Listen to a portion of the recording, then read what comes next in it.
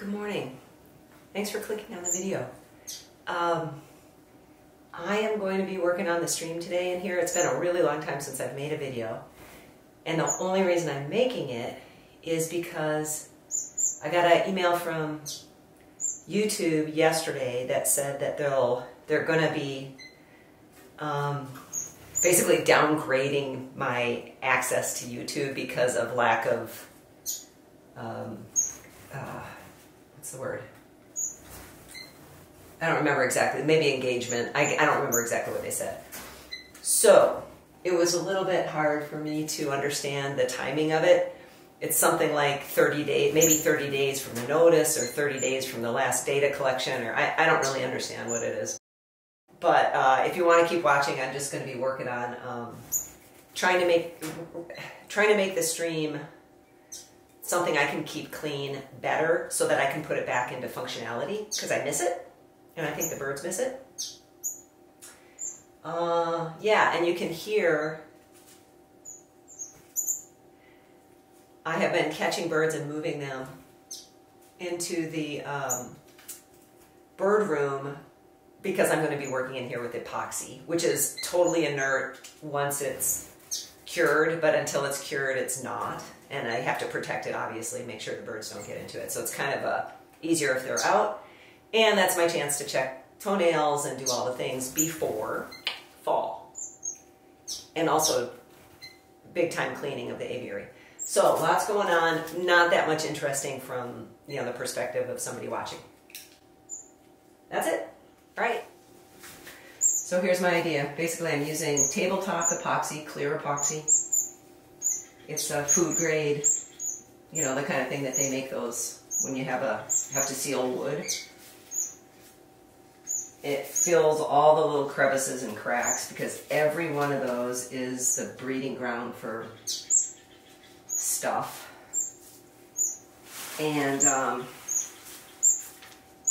my hope is that, and that's going to fill all the depressions. So they aren't going to have the bathing pools, but what I'll do is I'll run the water more often, and then they can play in the, essentially the fountain part of the stream. And then it'll run, there'll be some little pooling that happens, but not extensively, and it should flush out all the water because the pools will be really, really shallow. And so it'll flush it out, hopefully keep it cleaner by itself. Um, yeah, anyway, that's what we're to try. Better work, though. Once I fill them, I can't undo it. I can't go back. So, since I have to fill it anyway with the epoxy. I'm eh, going to embed some pebbles and stuff in it. Oh my gosh, this is going to be, I don't like doing things that I can't undo, as you probably can imagine. Most of that will be covered up. So I got some gray pebbles, and I got some other gray pebbles.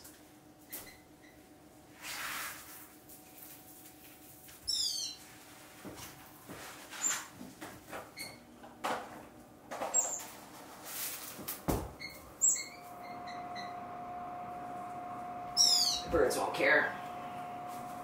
Okay.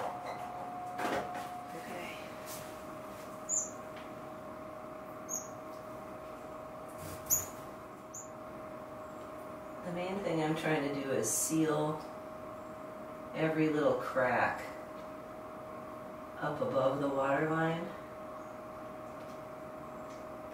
or near the water line.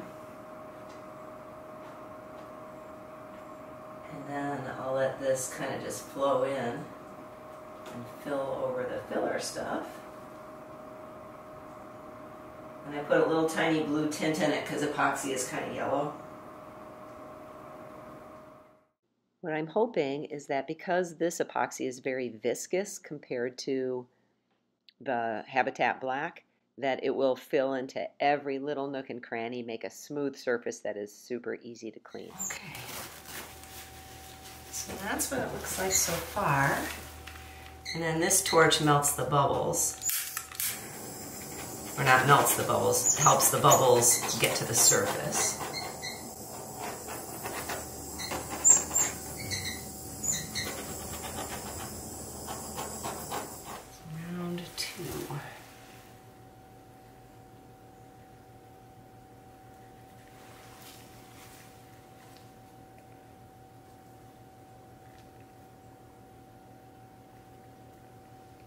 I learned the hard way.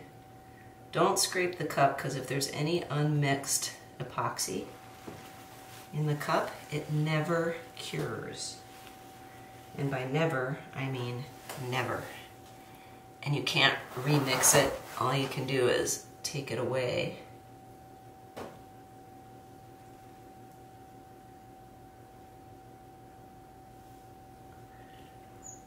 Somehow, which is not easy to do.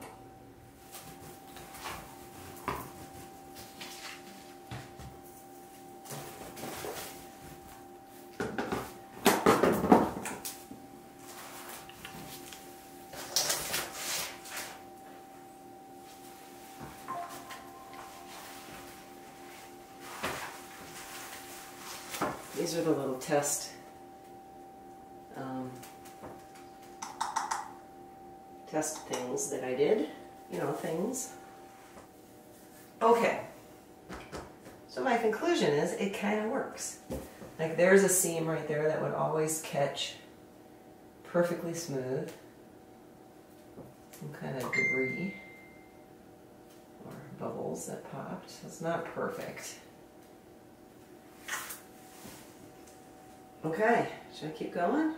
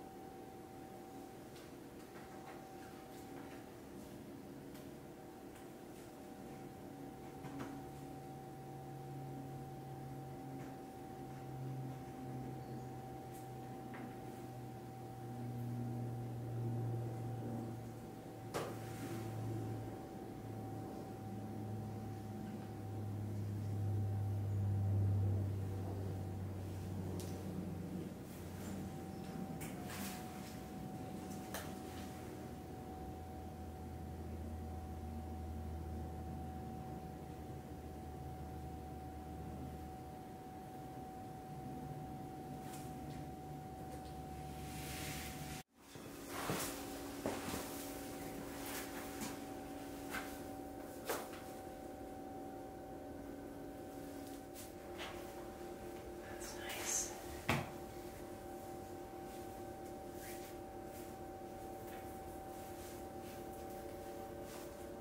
Okay.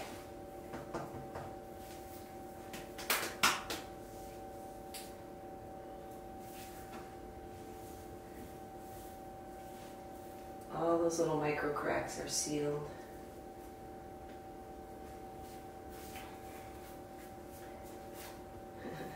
Except for this one little problem. You know what? Turned out pretty good. Got most of the quail finches trapped in the warming area, so I'm going to go ahead and do some stuff. Okay.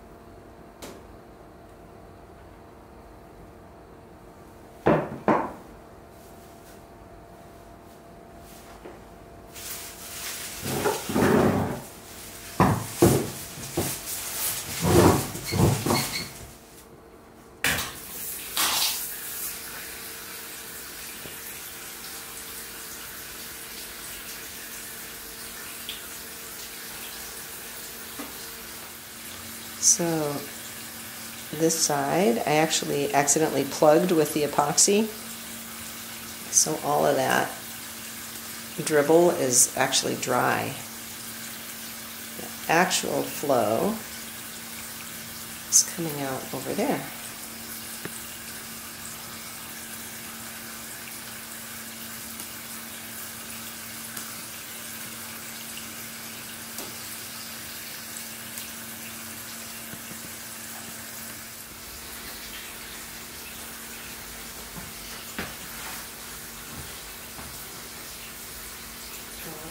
Really deep. That's great. Oops.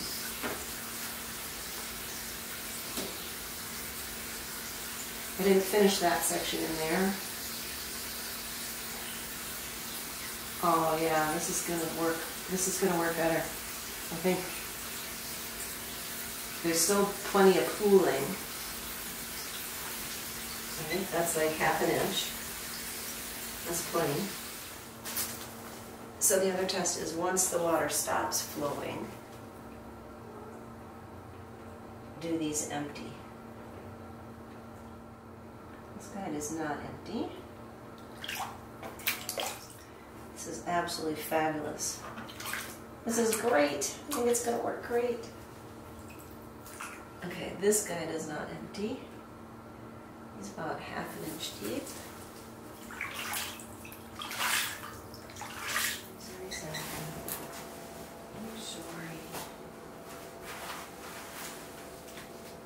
Okay, the stream is done. As far as I'm concerned, I think.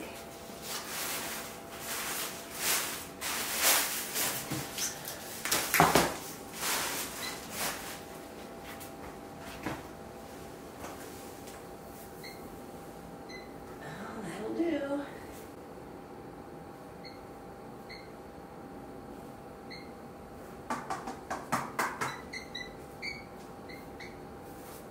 Okay, guys. You did it.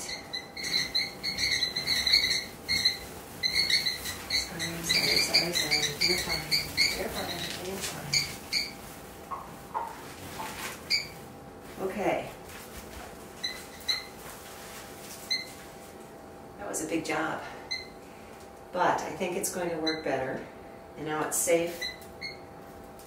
And there's no problem if water runs on there.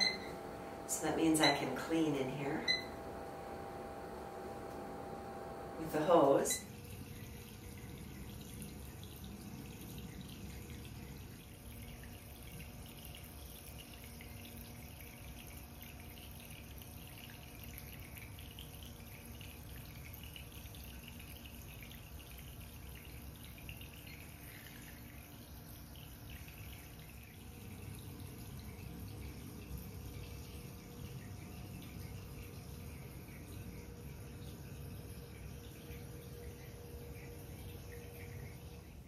Oh man, I cannot wait to move the birds back in here and see them play in the water and and feel good that I can keep it healthy and clean for them. And I will do my best to video um, what's going on this fall, and hopefully YouTube will let the channel keep going, even though I don't have the time to make videos like I used to. Thanks for watching.